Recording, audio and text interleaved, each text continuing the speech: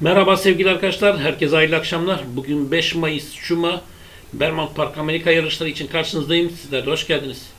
Evet arkadaşlar, koşunun saatlerine e, fazla bir vakit yok. Şu anda görmüş olduğunuz gibi 45 dakika kadar bir süre kaldı. İlk koşunun koşmasına, ilk altının ilk ayağı için. Tabii programda değişiklik yapmak zorunda kaldım. Tam video bölümüne geçerken e, tek attığım at vardı. Hatta birinci koşuda 4 nol safkan. Tekti benim ama o da çıkınca e, programda biraz değişiklik yapmak zorunda kaldım. E, tabii bazı çim yarışları kuma alındı. E, tabii bu da e, ters sonuçlar e, verebilir diye umut ediyorum ama çok sayıda safkanlar da yarıştan çıktı zaten. O yüzden e, fazla da e, korkmamak lazım. Bence güzel bir program. E, bu güzel programı değerlendirmek bence en güzeli olur diye umut ediyorum. Şimdiden herkese bol kazançlar, bol şanslar dileğimizi sunalım ve sizi şablonla baş başa bırakalım.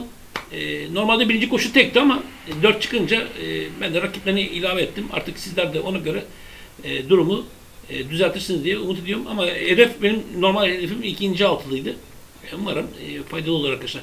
Şimdi herkese bol kazançlar, bol şanslar diliyorum. Yarın görüşmek umuduyla. Hoşçakalın.